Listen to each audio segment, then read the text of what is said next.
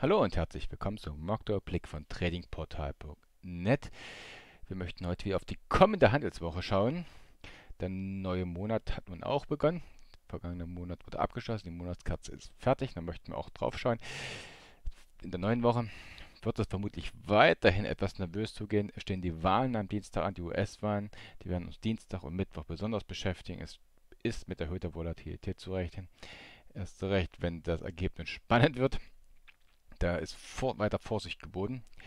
Äh, der Blick zum DAX Monatschart. Hier ist die Hochzeit 2009. Seit 2015 hier hat der DAX Probleme, signifikant neue Hochpunkte zu auszubilden. Hier 2017 haben wir uns eine Seitwärtsphase aufgehalten. Die reichte von knapp 37 zu 13.500. Diese wurde nun nach unten verlassen, verletzt. Kommen sind zurück, das ist die Frage und können dann mal eine große Erholungsbewegung starten. Sehr große Fragezeichen sind damit verbunden, denn wir haben hier auch, habe ich jetzt nicht die Grafik da, aber das zeige ich euch dann gerne am Montag auch im Trading-Chat. Der Verfallstermin, der war sehr überraschend, der November nun ansteht, Mitte November.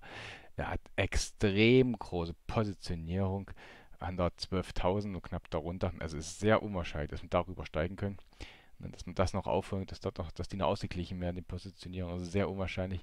Also ab 12.000 knapp, beziehungsweise knapp darunter ist der DAX dort schon sehr, sehr extrem gedeckelt. Nicht nur charttechnisch, ne, durch den Bruch der 37, der 850 ist der Weg nach oben sehr verbaut. Und erst echt Verfallstermin, wo sich in kurzer Zeit mit Monatswechsel eine enorme Positionierung aufgebaut haben. Also sehr unwahrscheinlich, dass die Rallye über 12.000 fortgesetzt wird. Sehr unwahrscheinlich. Wir haben hier den DAX-Monat-Chart Oktoberkerze konnte die Dynamik herausgenommen werden. Wir haben eine Lunte ausgebildet, ne, etwas hochgekauft worden und hier hat man das erste Retracement, 23,6er Retracement bei 11.225. Das ist das Retracement der Hosse-Bewegung seit 2009, also durchaus interessant und wichtig, haben wir verteidigt. Darunter noch das, das Retracement seit, welche Bewegung ist denn das, aus 2016 bei 150 wurde ebenso gehalten. Also hier haben wir einen Abpraller hingelegt. War gar nicht mal so unwahrscheinlich. Das große Retracement ist nun mal durchaus bedeutend. Das war auch schon verdächtig, dass man kurz runtergeguckt habe. Ich dachte schon, es hat gar nicht beachtet, das Retracement. Wurde es am Ende aber doch. Dann wurden bloß einige Stop-Loss abgeholt und haben es dann doch wieder gehalten. Das ist nun diese Zone hier, die 150, 220 sind auf Monatsbasis und auch relevant. Also, also 11.150, 11.225.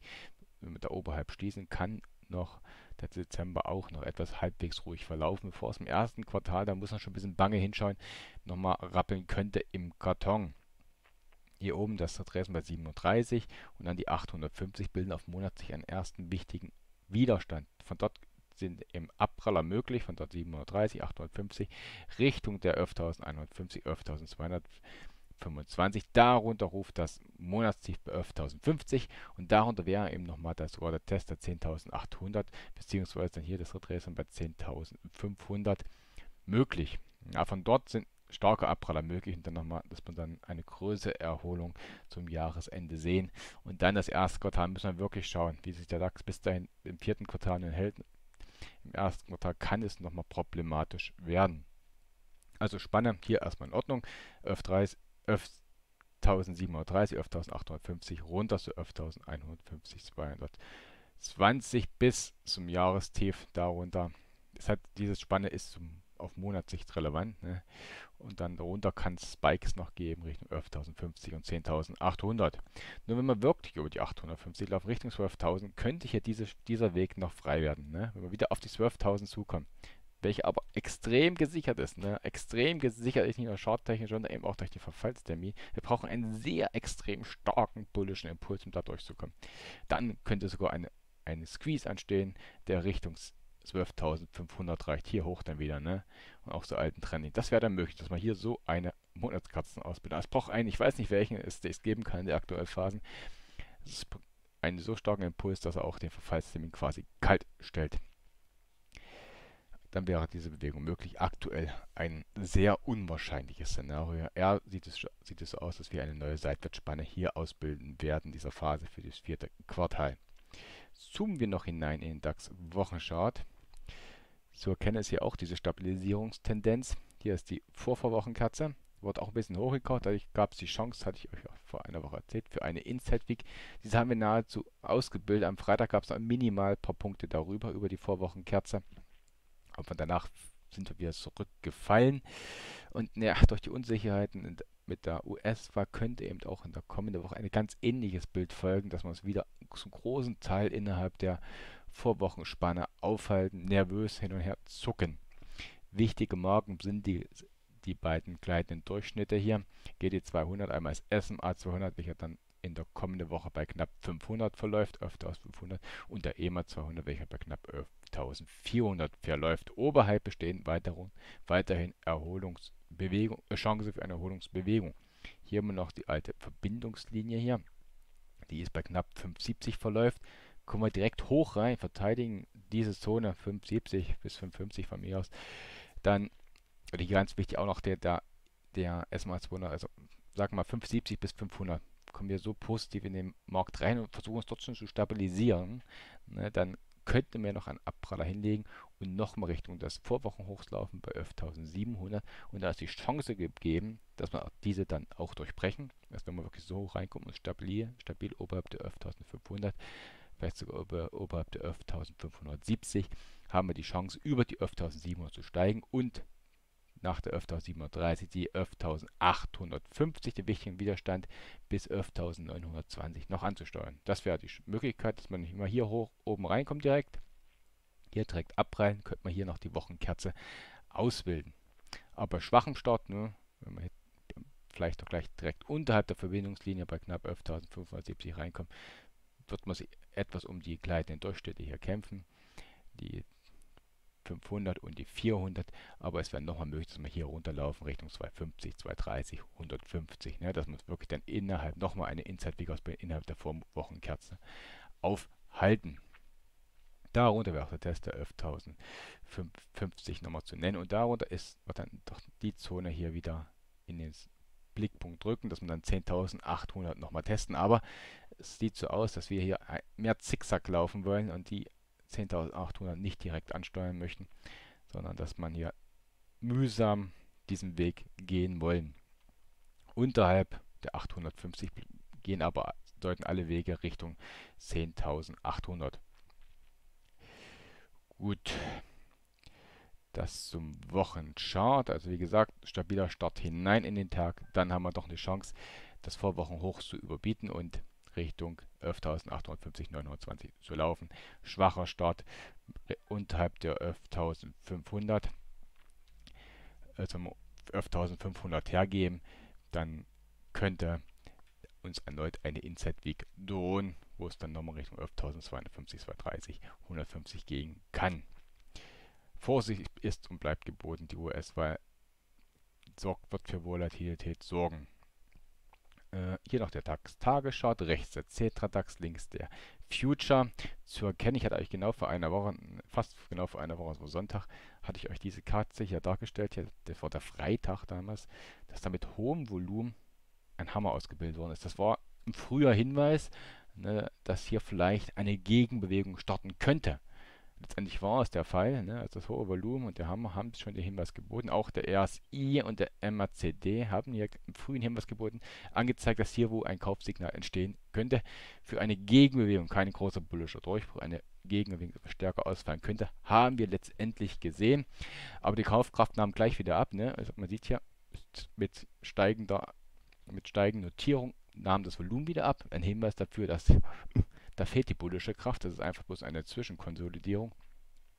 Dann haben das Volumen ab und auch auffällig ist, dass auch hier gut zu erkennen, wir haben immer wieder oben einen großen Docht ausgebildet. Der DAX hat zwar, ist zwar positiv in den Tag gestartet, konnte aber das Tageshoch nie halten. Immer wieder der Abverkauf zurück.